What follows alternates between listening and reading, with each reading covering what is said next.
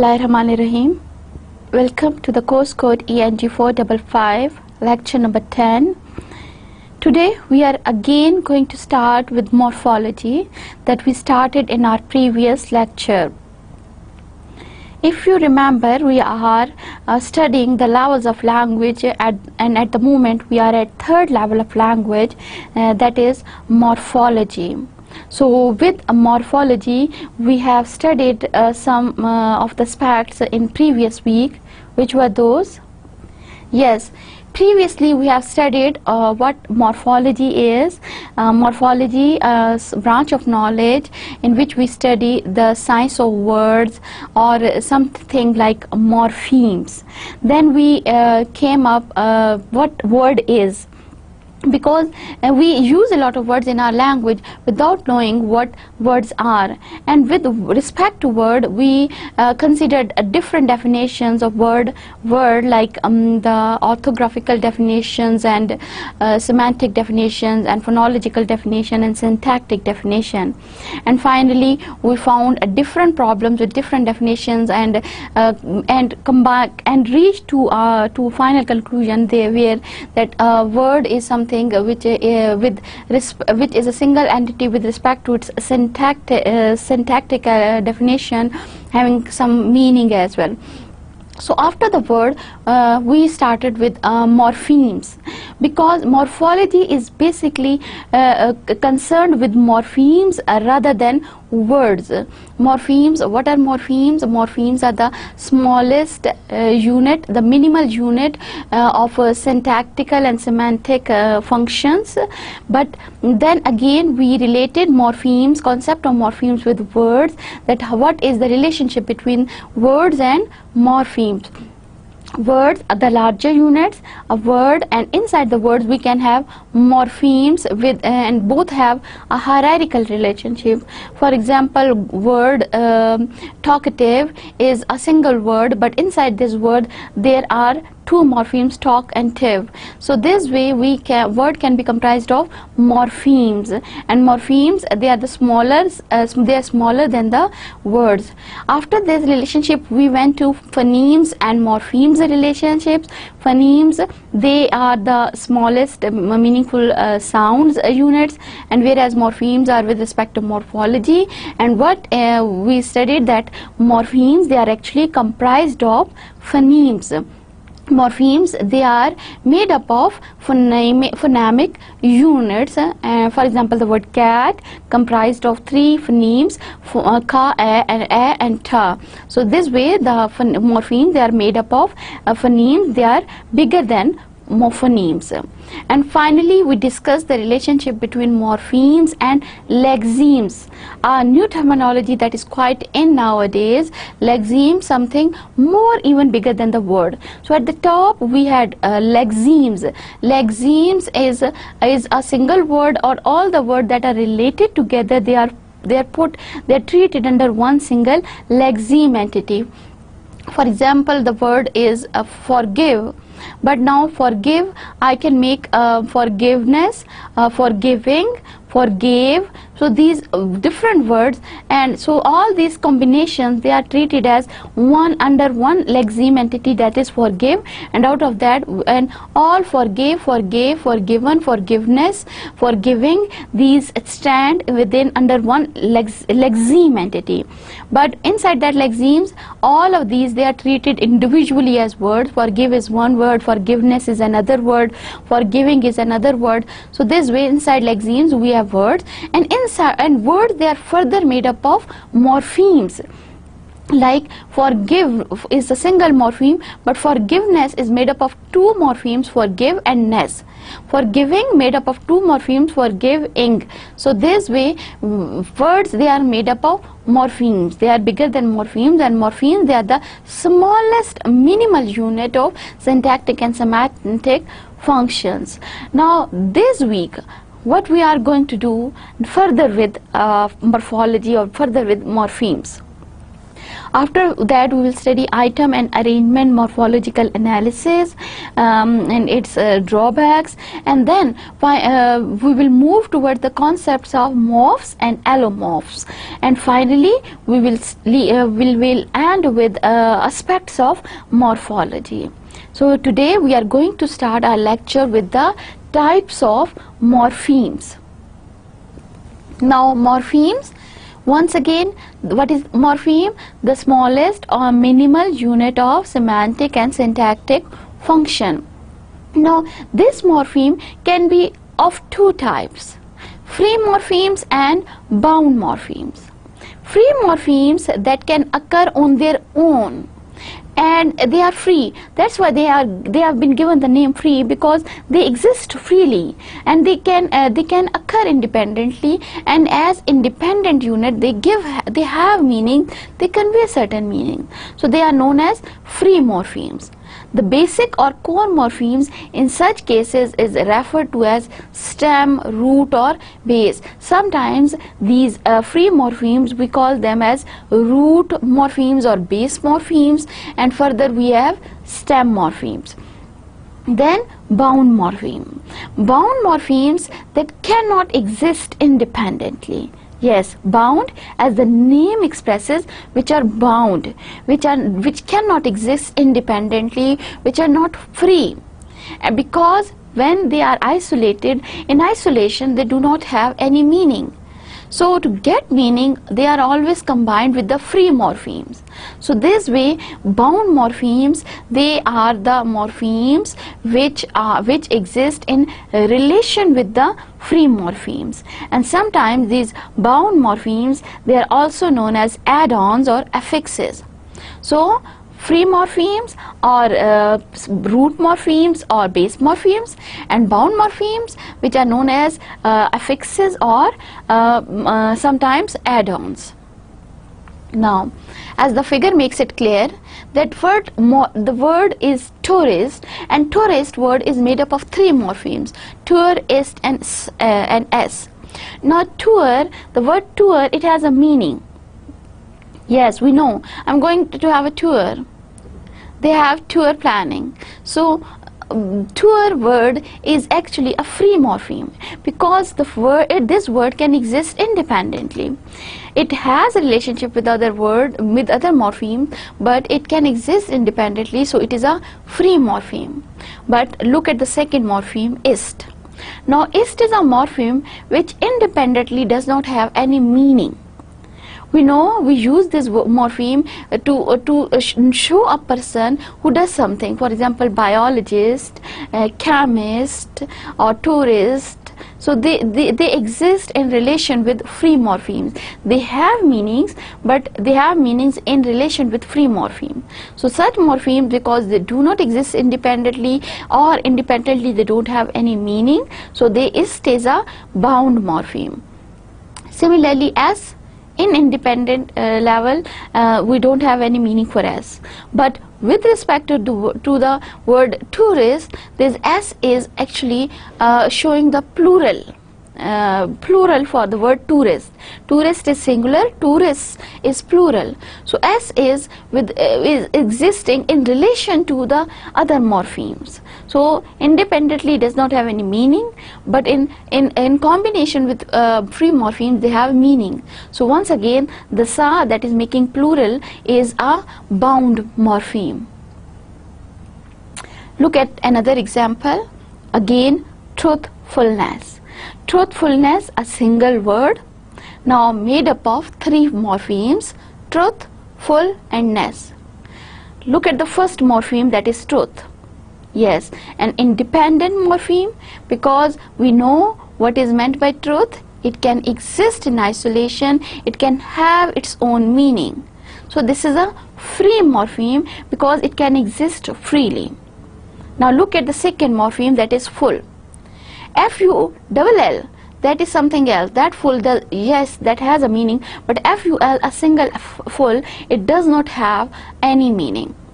We can say truthful we can say the delightful that it always and always has a meaning with uh, in relation to free morpheme. And in isolation it does not have any meaning and it does not exist freely because when I say for FUL full then I don't have any meaning. I do I'm not saying anything. I'm not expressing any meaning. So this way full can exist in relation with free morpheme but for full cannot exist independently. So it is a bound morpheme now look at the third morpheme for the word truthfulness ness. Once again uh, it exists in relation with truthfulness. But uh, in isolation ness does not have any meaning. Do you have any meaning for the word ness? No. Definitely no. We know that for example we can use ness with forgiveness.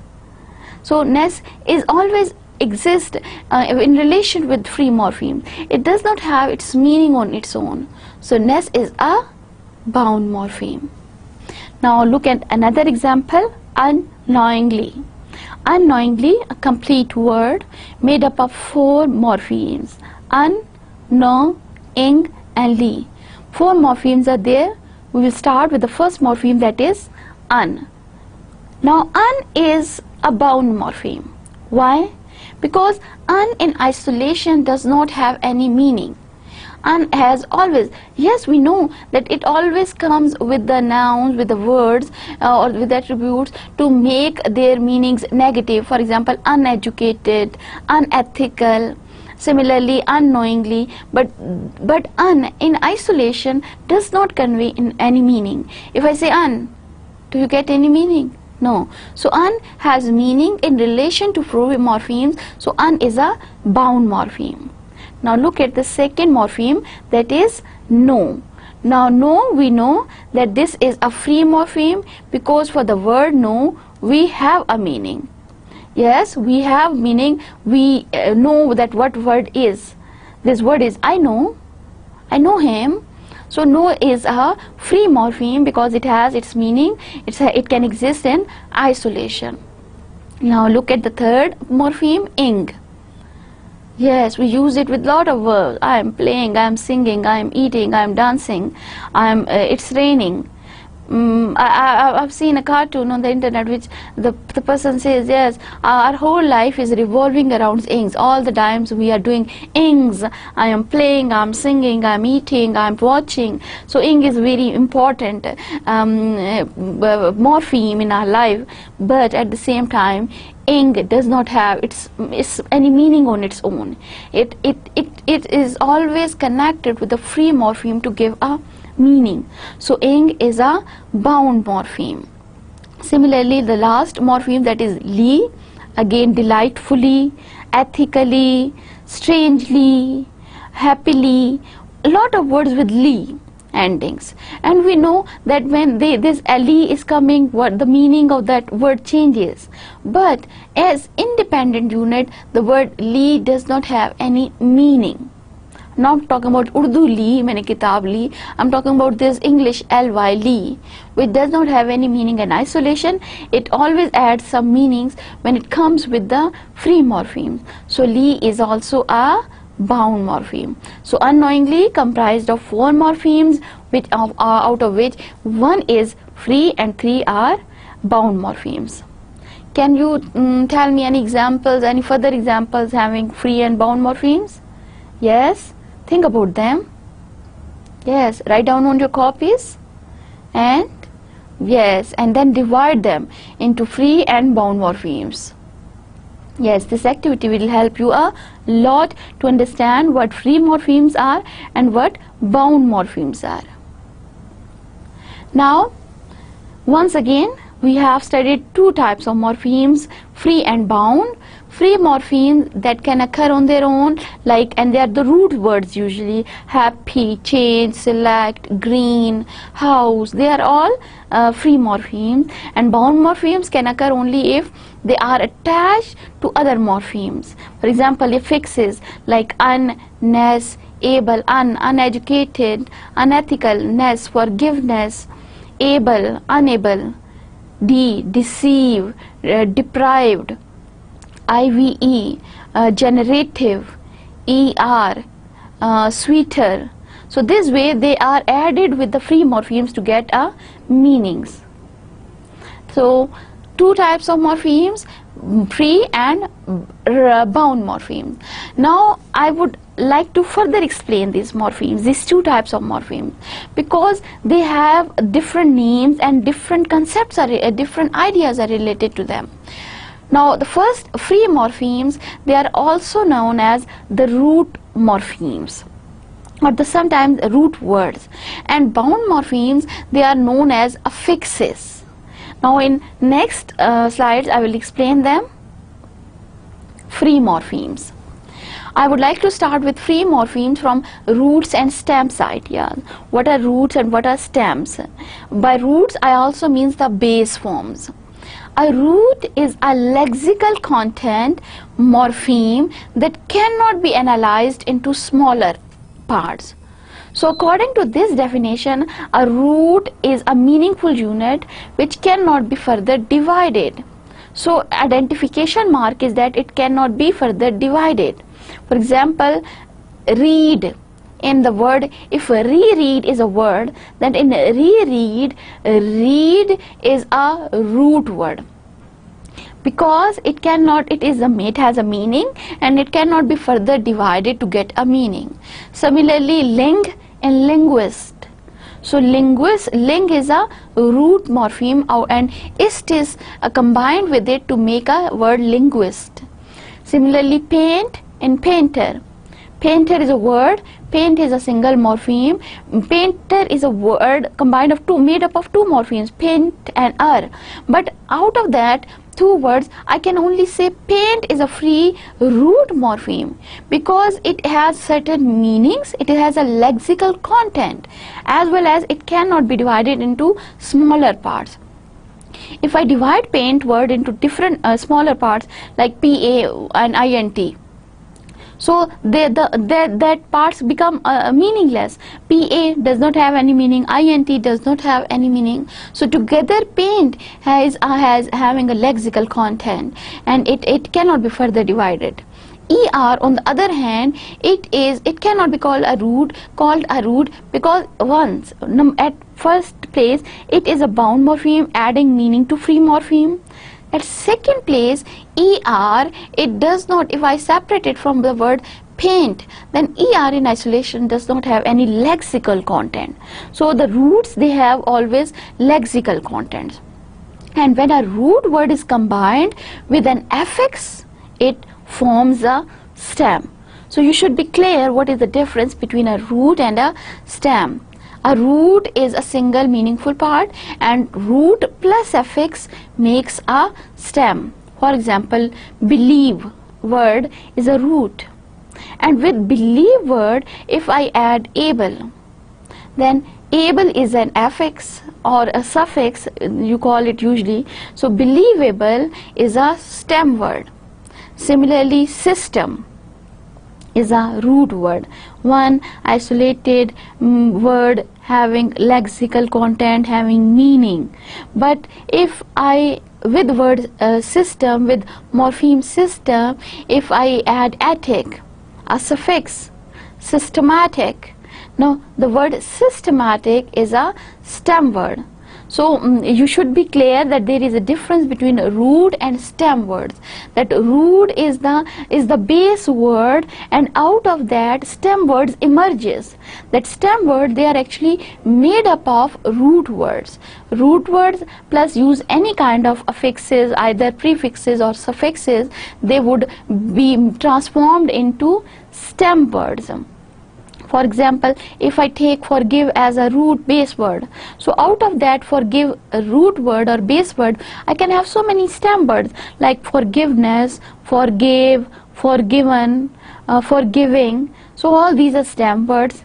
Similarly truth is if I take truth as a root or base word then uh, truthful truthfulness uh, uh, truthfully. So these these all are, uh, words are stem words. So uh, you need to be clear what the root and stem words are while dealing with the idea of morphemes. Now I have uh, beyond the English language, I have taken the examples for root and stems for semi Semitic Semitic languages.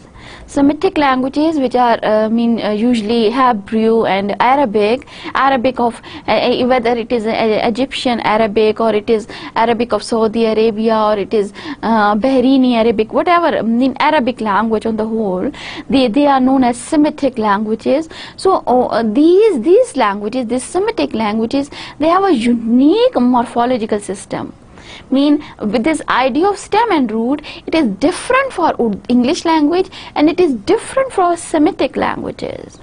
Now what happens in these semitic languages? That nouns and verbs are built on foundation of three consonants.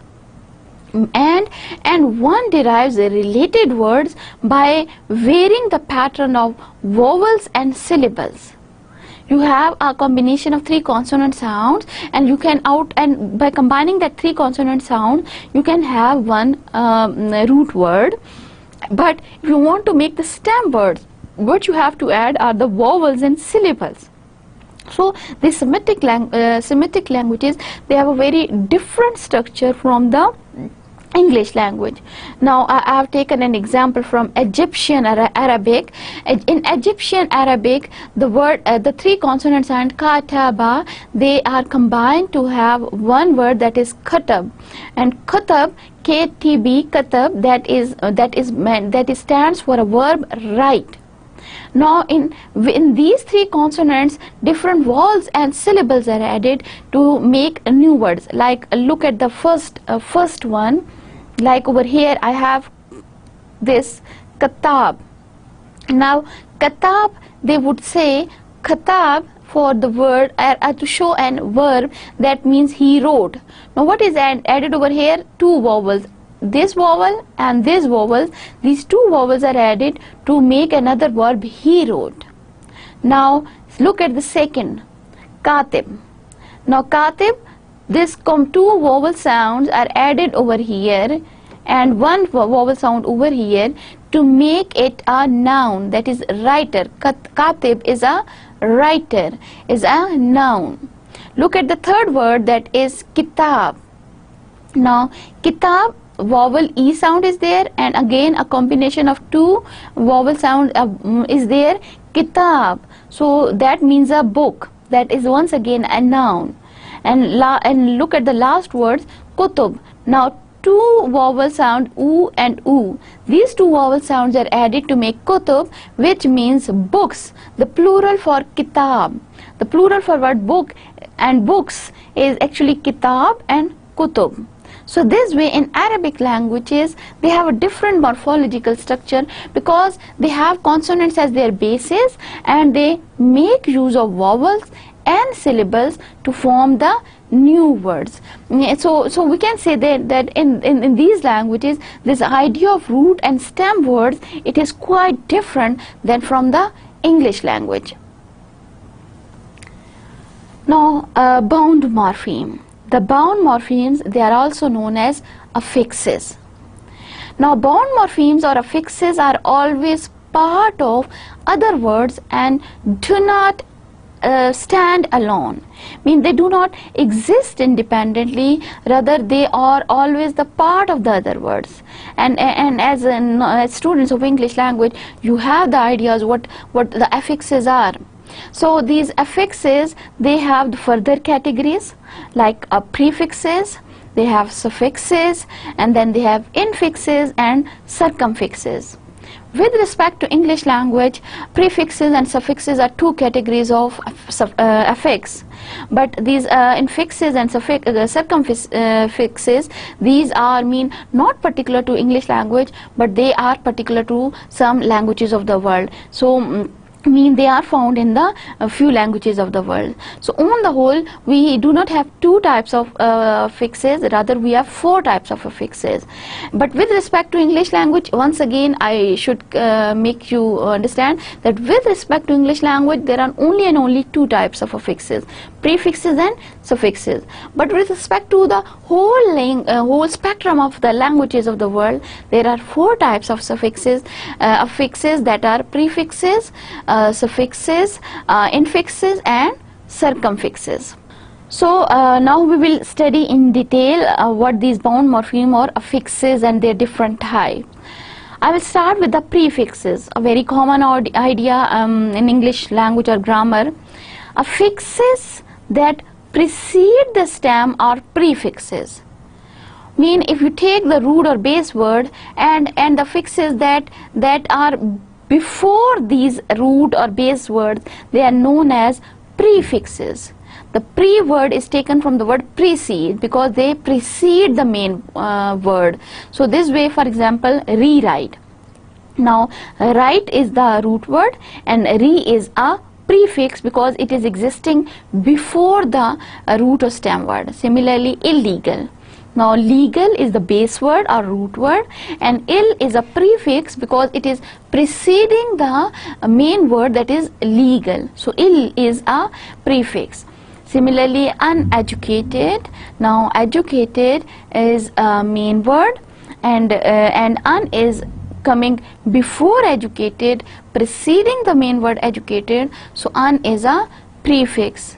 Bipolar, polar the main word and by preceding the main word. So, by is a prefix. So any type of affix that precedes the base root stem word or that uh, that uh, exist before the main morpheme, these kind of affixes they are known as prefixes and we have a lot of lot of example of prefixes in English language like uh, unethical, uh, immoral, immortal, and unsystematic, unbelievable, unknowingly. We have a lot of lot of prefixes that we use with respect to English language as prefixes and uh, in, in, if we talk about general languages in Urdu we have also prefixes as sabke for example pasand is the main word but we can add na na pasand.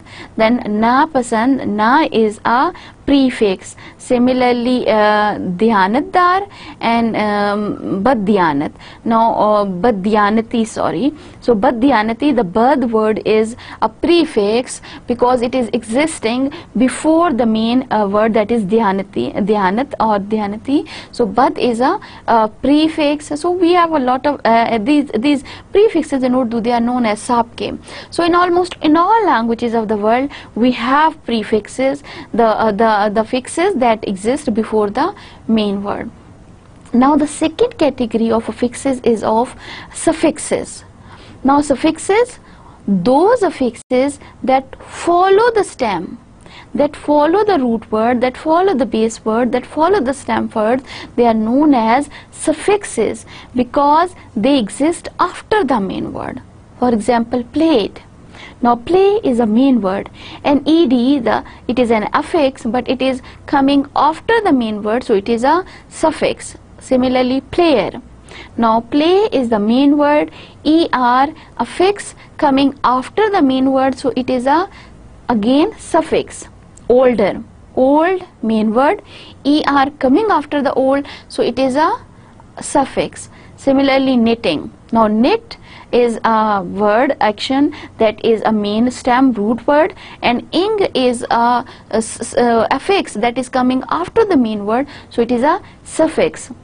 In Urdu language we also have uh, suffixes as la ke for, uh, when we add something at the end of the main word to make uh, uh, to make uh, words. So the, they, these lahkes they are known as they are actually the suffixes. Um, uh, for example uh, ima, dhyanat and dhyanat dar. So dar is a suffix or lahka so this way in different languages of the world we have this idea of suffixes as well as prefixes. Now there are uh, there are other two types of affixes which are uh, not uh, mean common for English language, but they are common to to some languages of the world. These are these are the ideas of infixes and circumfixes. Now infixes.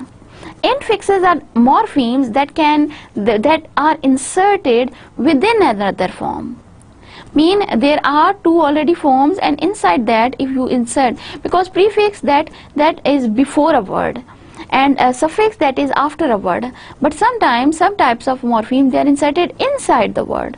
So such type of morpheme they are known as infixes English language it mean mean it does not have really that much variety of these infixes. Um, a few examples are available. Uh, for example, if you look at the word, this unbelievable. Unbelievable is a word is a made up of different morphemes, but uh, then sometimes some I mean rarely we we have a word like uneffing believable. So this way, uneffing believable, effing is coming in between a prefix and a main word. So this way we are adding something inside the word. So this is an infix though it is uh, not common in English language but in some languages of the world these infixes they are very much common. Now I have given you an example. If you look over there Bontoc. Bontoc is a language that is spoken in Philippines. In that this language the infixes they are quite uh, common. Now if you look at these they have the nouns adjectives and how they make verbs out of them. Like now for the first word that is a ficus now ficus which means strong. Now in ficus this is the stem word and in this ficus they add different mean um, uh, suffix uh, affixes. Like if you look at this ficus f is there and icas is there. And in between the word there is insertion of this um fumicus. Now fumicus to be strong. So by adding this affix inside the word they make they change noun or adjective into a verb. And because they are adding these uh, affixes inside the word so these these are infixes. Now look at another example killed now killed they they, they have the they, for the red color they have a word killed now killed is the main word. Now inside this killed word if you look at this um this combination is added cumulate now cumulate this insertion is there and with the help of this insertion they get the verb to be read. To make something read they would call it cumulate. Now once again the affix it is added in between the word. There is another like, example like fusul. Now fusul is the word they use for the enemy. Now inside this word single word fusul they add um fumusul once again, insertion of affix inside a word to make a to make an a noun or adjective a, as a verb. So what now it would be a verb fumusul which means to be an enemy. So this way they have infixes to transform one category into another category and this is quite different from prefixes and suffixes. Next we have a fourth category that is circumfixes uh, once again uh, not popular in English language uh, not popular in all languages but rather found in few languages of the world. So what are the circumfixes? Circumfixes are actually the morphemes that can be attached to a base morpheme both initially and finally mean uh, strangely they, they, these morphemes they they uh, they exist at initial position as well as at the final or the um, last position to make a new word. And these circumfixes they are found in some languages of the world and one example is a language of Muskogean. Muskogean is a language that is spoken in Oklahoma and uh, what happens that in this language if they have to make a negative out of affirmative they make use of circumfixes. Mean they add something at the initial position and at the and the final position as well. So this way they make use of circumfixes. Now look at these examples on the board. Yes. Now if the affirmative sentence is chokoma. Now chokoma means he is good but if you want to transform this affirmative into negative, they would say ik, ik chokomo, ik chokomo. Now the ik chokomo, they are adding two things. One ik at the beginning place and o at the final place. And then they are making a negative out of it. Ik chokomo means he isn't good Now look at the example lakana. Now look at the second example lakana. Now lakana means it is yellow. Now lakana then when they have to make it affirmative into negative what they add? They would add two things at initial and final position. Like if you see ek Lucknow now ik at the beginning place or at the last place. By adding at initial and uh, the final positions these morphemes they uh, make our negative out of affirmative so ik Lucknow means it is it isn't yellow. Similarly Pali. Now Pali means it is hot, of an affirmative sentence. But to make a negative out of this affirmative, they would say ik palo. Now ik and o two morphemes are added to make a negative. That it ikpalo means it isn't hot so this way they, they these some languages they uh, they have a certain structures where they use mean two morphemes at um, initial and final position to to change it. And such type of morphemes they are known as circumfixes mean they are type of the affixes but um, very rarely found in uh, English language or mean major languages of the world but only in few languages of the world so so far we have discussed four types of affixes prefixes suffixes uh, infixes circumfixes within the category of free uh, and bound uh, sorry bound morphemes after these um, ideas of free and bound morphemes uh, we have uh, something I mean some issues that are related to morphemes. On and on we will discuss certain problems that are related to this uh, branch of knowledge morphology certain definitions which are complicated and certain ideas which are mean having uh, certain issues. The first idea is there is the um, related to the definition of morpheme and uh, this is uh, this is under the tight heading of Huckles and Keeves in the book of From Kinehemus.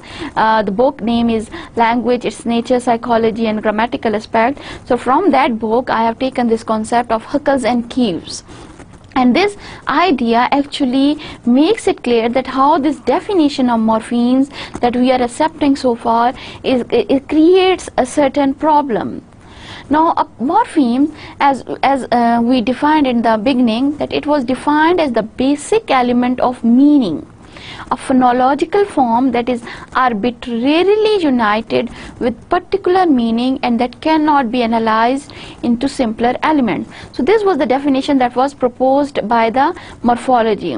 So this definition holds true mean for majority of morphemes.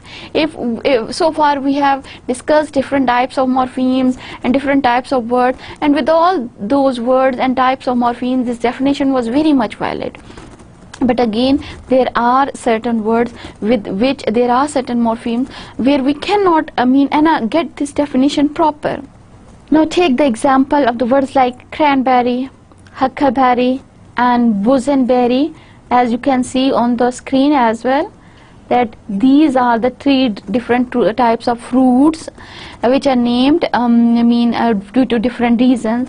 But if if you look at the structure morphological structure of these words now berry part is okay because we know berry berry is a fruit. So uh, berry in cranberry in huckleberry and boysenberry berry word is okay. But the issue is with the initial parts. Now cran word is also okay because we know the cran is is is a meaningful unit.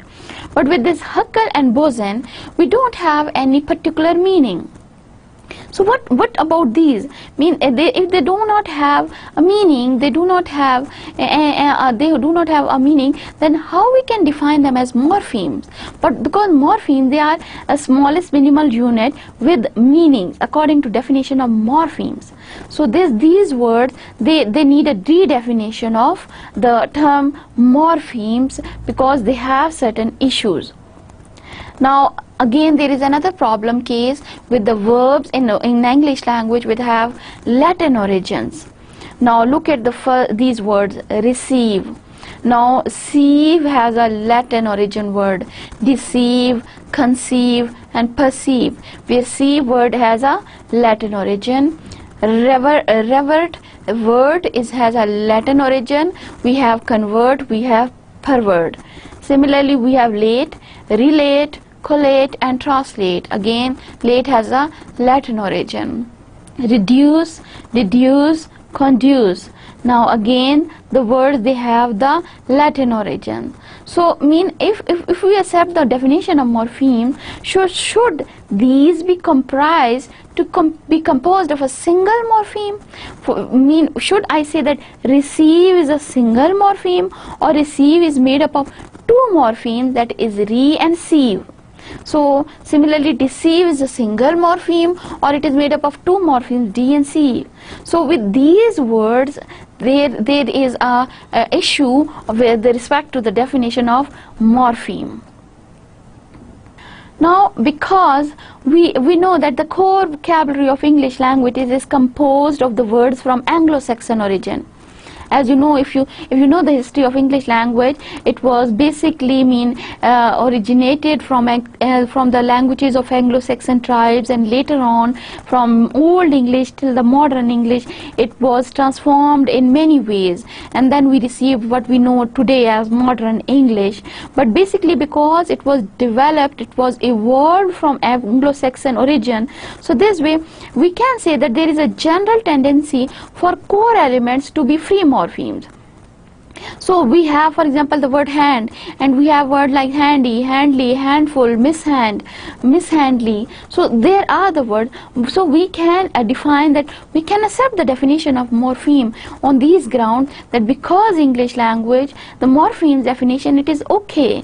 But the issue with english language is because it uh, it is uh, it has been evolved from a different language so the, these issues arise because of that nature of english language. But still we can put mean a lot of question marks. Now coming back again to the types of morphemes. We divided morphemes into two major categories of free and bound morphemes but still we have more types. Yes, inside these free and bound morphemes we have further categori categorization as you can see from here that free morphemes they are further divided into two categories that are lexical and functional morpheme.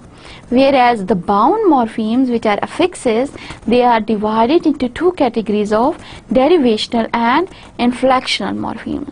So now we will study these i mean subcategories of free and bound morphemes in detail. Now we will start with the types of free morphemes free morphemes they fall into two categories. Content morph uh, sorry lexical morphemes I, I called it um, content because sometimes these lexical morphemes they are known as content morphemes as well and functional morphemes. Now from the first one uh, one is categories lexical morpheme. Lexical morpheme is just like the same thing as we defined uh, in a if you remember in a previous lecture of morphology the lexical words or the content words. They are the set of mean ordinary nouns, adjectives and verbs and almost same as content words as they carry the content of message we convey. For example, sincere, open, follow, boy, sad, read, book, door, um, computer. All of these words are content words. All of these words are lexical morphemes because all of these morphemes they have a content. They have a content of meaning. Then there are the other types of free morphemes that are uh, functional morphemes. They are almost same as like the function words because they do not have um, independent meanings. Rather they have functions inside a language they they uh, serve as function words. And these are they include the set of conjunctions and prepositions articles and pronouns. And examples like near in the that and but because we use them inside the language we do not have exact uh, meaning of these words morphemes but we use them as function words. For example to join two sentences you use the conjunction and I went there and bought a book. Now and uh, in isolation does not have any meaning. When I say and, you don't get any meaning. But I know as a conjunction it has a function. It has a function to join uh, two nouns or two phrases or two clauses or two sentences. So this way these are known as the functional morphemes. So with respect to free morphemes we have two types the lexical morphemes and functional morphemes after the free morphemes, we'll st uh, next study the types of bound morphemes. Now, before uh, knowing what are the two types of bound morphemes, look at these two lists of words. Fairly, faster, singing, opened, cars, rights, biggest. You can see that in all these words, they are composed of two morphemes, fair and lee. Mean fair are uh, lexical morpheme, lee are uh, affix, are a uh, free morpheme and a bound morpheme or affix faster. Two morphemes are there, fast, a free, and er is a bound morpheme and affix. Singing, two morphemes, sing, root word, and ing is a, a, a, prefix or a suffix, sorry. Then opened, open, the root word, and ed is a suffix. Cars, car, the root word, and s is a suffix. Writes, write, the root word, s is a suffix. Biggest big root word. Is guest is again a suffix. Now look at the second category. Same no look at i mean the, the second uh, column. You can see the words like treatment rudeness unkind famous useless helpful irregular and reddish again all of these words are composed of two morphemes. The root morphemes plus the affixes. Treatment treat the root morpheme and the ment is a um, affix or a um, suffix. Rudeness. Rude root word and ness is affix. Un uh, prefix kind the root word. Famous. Now uh, fame. Again fame f-a-m-e fame that is a root word and o-u-s is again a uh, affix useless use root word less is a affix helpful help root word and a full is a affix irregular. Ir is a prefix and regular is a uh, stem or root word. Reddish. Red the stem word and ish uh, dish is again a um, affix so in these two columns we have mean all nothing is mean nothing seems different because the to both lists they are comprised of, of words that are made up of two morphemes mean root morphemes and affixes and mean uh, all of them they are using some type of some type of affixes uh, with the, the root words or the base words to make uh, double morphemes words. But what is the difference? No the difference is the first column that is carrying faster singing opened cars writes and biggest the uh, uh, everywhere in with the main morpheme the root morpheme the affixes are used. But the affixes do not change the word class but rather contribute to meeting grammatical constraints. For example, fast, adjective. And if I add a suffix er, faster, again an adjective, no change of class. Singing. Sing is a verb, ing is a suffix, singing is again a verb, no change of class. Opened, open verb, ed affix, open together again a verb no change of class cars car. Noun s making it a plural but again cars remains a noun. Writes right verb s showing its tense but writes again a verb. Biggest big adjective. Est suffix. Biggest is again an adjective though it's showing the uh, degree of adjective but not changing the class not changing the its part of speech. So such category of affixes which do not change the class of a word are known as inflectional morpheme. So all the words which were in first column they were carrying inflectional morphemes morphemes with them this was the difference now what about the words in the second list Now, the uh, words in the second list, they were treatment, rudeness, unkind, reddish, famous, useless, helpful, and irregular. Now, again, all these words, they have a root morpheme plus an affix. But what is different from the previous one? These affixes, they mostly change the class of the word and normally in the case that is like fame fame is a noun. But when i make famous out of it then the class is getting changed because famous is adjective not a noun.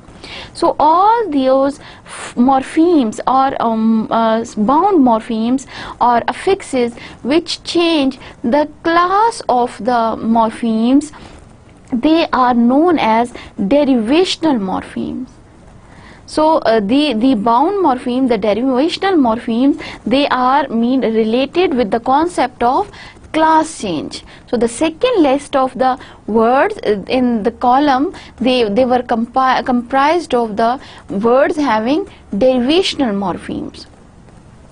So to summarize, bound morphemes can be of two types, derivational and inflectional morphemes. Now derivational morphemes used to make words of different grammatical category. Mean when you add a derivational morpheme, the class gets changed. If it is a noun, it becomes a verb or adjective. If it is an adjective, it becomes a noun or a verb or something like that. So mean the class gets changed. So such, such type of morphemes, they are known as derivational morpheme. They deals with the morphemes that change the lexical category of the word they are added to as I told you help help is a verb. But if I add the affix full so helpful is adjective. So again the class gets changed. From verb it becomes a adjective. So it is a derivational. Full is a derivational morpheme. Similarly kind and kind uh, and kind and kindful. So kind is adjective kindful is a noun. So again changing the class so derivational morpheme whereas in inflectional morphemes we, when we add them with the root morphemes the class the grammatical category does not change. They deals with changes that do not affect the lexical cat, uh, category of the word they apply to. For example pluralization mean when we make plurals when we add certain morphemes to make plurals the class does not change. For example uh, cat and cats. We have added a morpheme but the class is not getting changed. So the usually the morphemes which are used for pluralization they are inflectional morpheme. Similarly the tense on verbs for example write and writes if I to make it uh, and to make use of it in a present indefinite tense if I change it right to writes again the class is not changing verb remains verb. So uh, this is a inflection morpheme noun case and adjectival comparison that is degrees of adjectives big bigger biggest.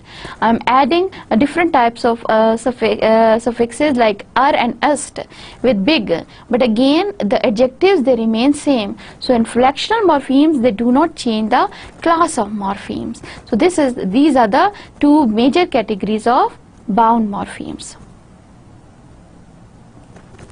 Now derivational versus inflectional some examples I've taken.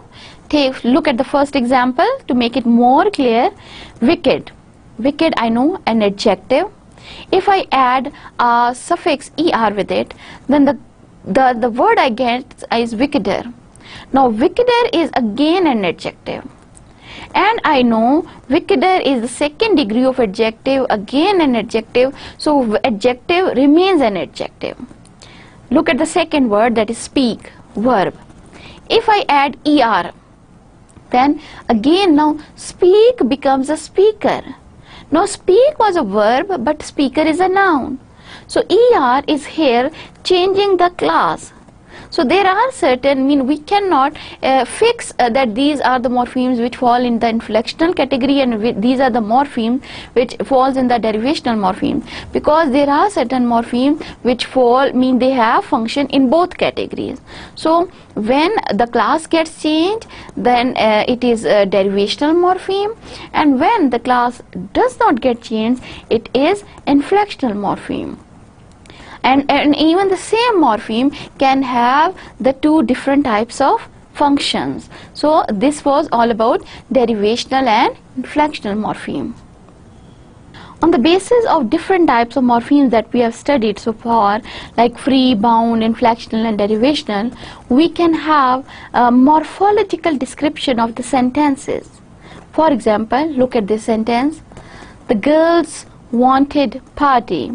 Now, again on the basis of our morphological knowledge on the knowledge about the types of morphemes we can morphologically describe the sentence as the a functional morpheme.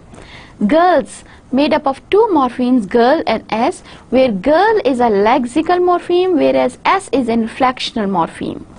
Wanted want is a lexical morpheme ed is a inflectional morpheme and party again a lexical morpheme. So this way we can have a morphological analysis of sentences.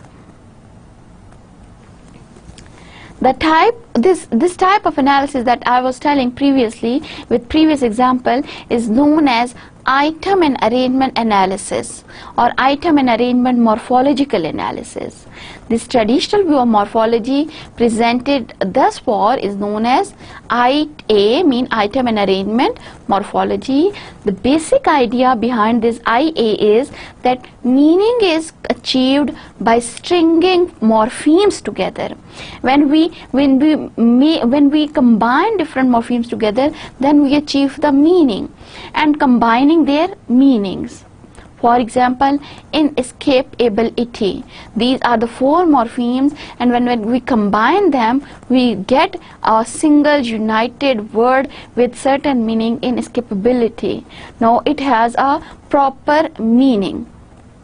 But the question is here, is language that much simple that we can get a sentence and just can categorize in the way that this, okay, this is a lexical morpheme, this is a inflectional morpheme, this is a derivational morpheme, and by having that kind of analysis, can we describe language?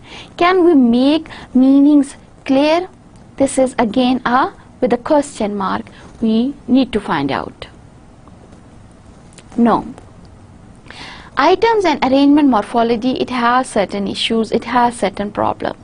As I told you that language is not that much simple. And if it is simple let's pretend then meaning in language is nothing more than the combination of meaningful bits.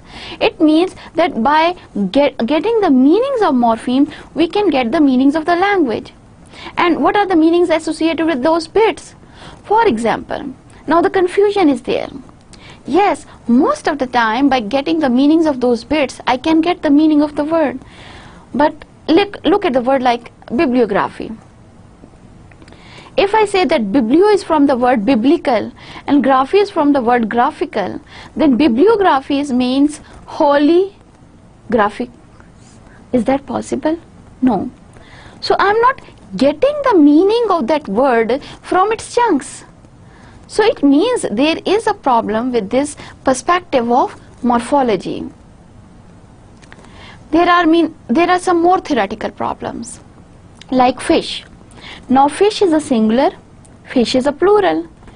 Where is the plural morpheme? Because we know that cat is added with the S morpheme to make a cats. So S is a plural morpheme. But why not we are using any plural morpheme to make fish? Into a plural morpheme. Then uh, the people they come up with the idea of I mean the morphologists they come up with the idea of zero morpheme. According to them that with these type of morphemes we have zero morphemes. And when we add them zero morphemes to the fish then we get we get uh, actually fish as plural morpheme. Because with plural morpheme zero morpheme is, has been added but mean but again there is a question. How do we know it's a suffix? I mean how do I know that a word sheep is written there and whether it is a singular morpheme whether it is a, a written morpheme? Because I cannot uh, by looking at it word sheep I cannot get whether uh, cannot get an image of zero morpheme. So it would be hard to tell uh, that where, what type of morpheme is this. As we are discussing the uh, problems with item and arrangement morphology, there are some more theoretical problems uh, like take, present tense, took, past tense. how do you add something to uh, take to cause its vowel to change? Because according to morpheme concept according to morphological concept the they, they, they should be if this is take the past tense should be taked but how this irregularity we can define with respect to morphology again they, they have certain idea of zero or vowel change form but that they, they, they, they have a change, vowel change because of certain morphological function but again the question remains a question and even more theoretical problems that I have discussed previously under the heading of Huckel and Keyes that berry, a fruit, a free morpheme, blueberry, a compound morpheme.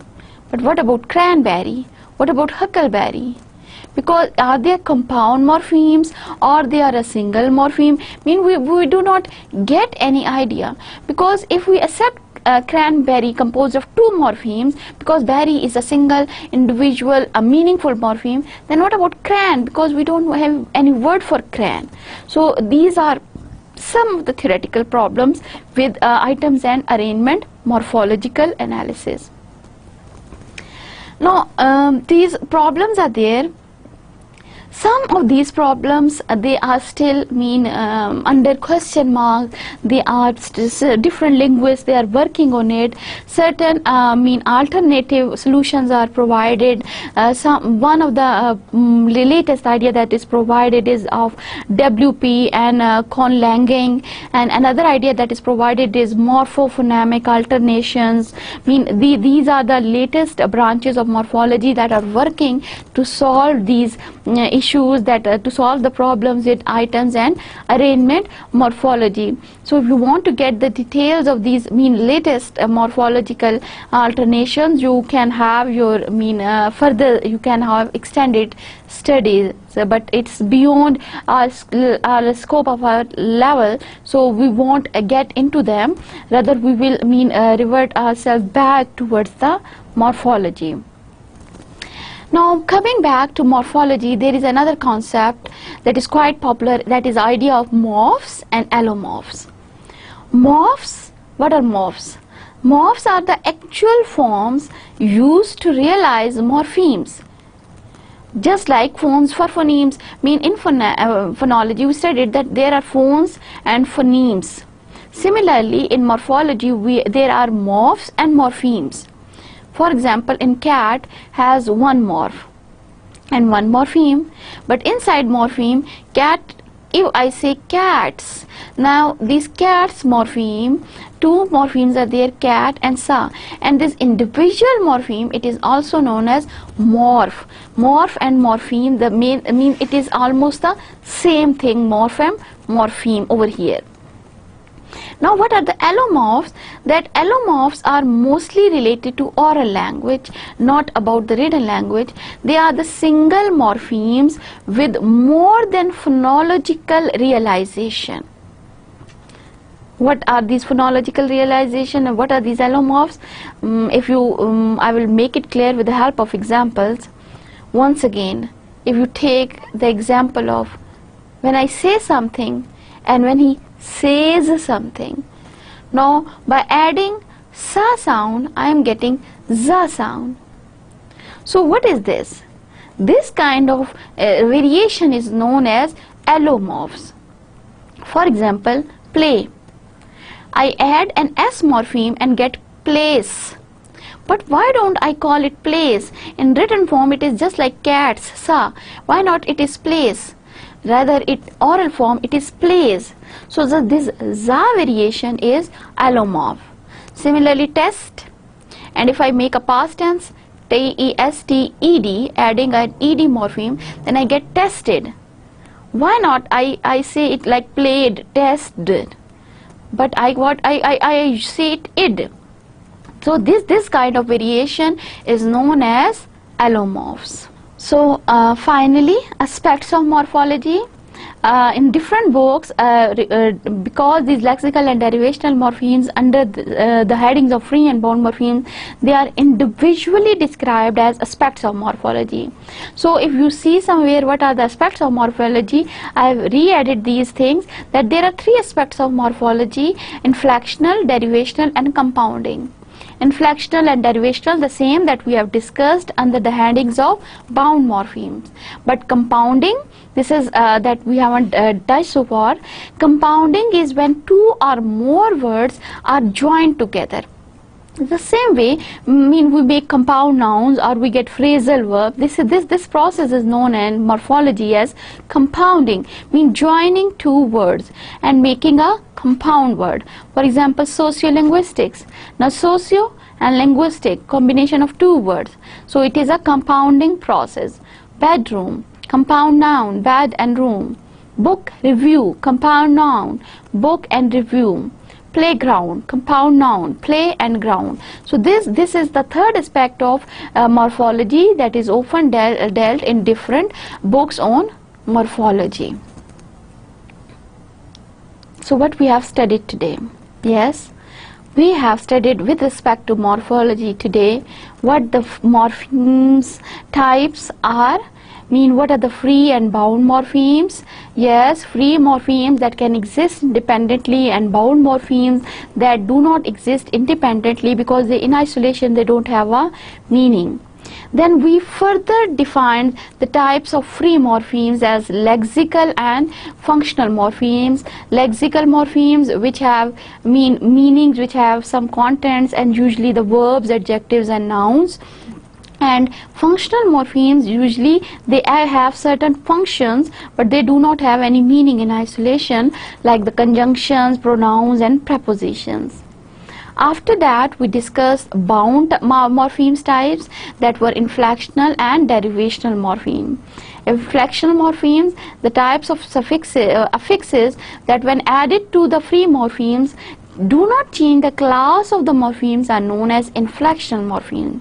And those morphemes which change the class of bound, uh, that free morphemes are known as derivational morphemes. Then with the help of these different types of morphemes we uh, reach to item and arrangement morphological description. We describe that how with the help of this uh, morphological knowledge we can describe or we can uh, uh morphologically analyze sentences. But again there were certain problem with this item and arrangement morphology. That mean there was an issue of zero morphemes there was an issue of the compound morphemes where we, there were certain morphemes which we do which uh, which were considered as could be considered as morphemes but they were not having any meanings. So we would uh, we also had certain uh, problems with the definitions of morpheme. But you know in uh, different uh, areas of knowledge i mean improvements are already there and um, they, they, the room for improvement is always open. And we we have a lot of question marks but I, we hope for the solutions as well and finally we dealt with the aspects of morphology the way it is dealt in the different books as inflectional morphology derivational morphology and compound morphology. So I hope this lecture would help you to learn a, a lot about uh, morphology. So see you next week inshallah and uh, with more knowledge about another level of language. So till that Allah Hafiz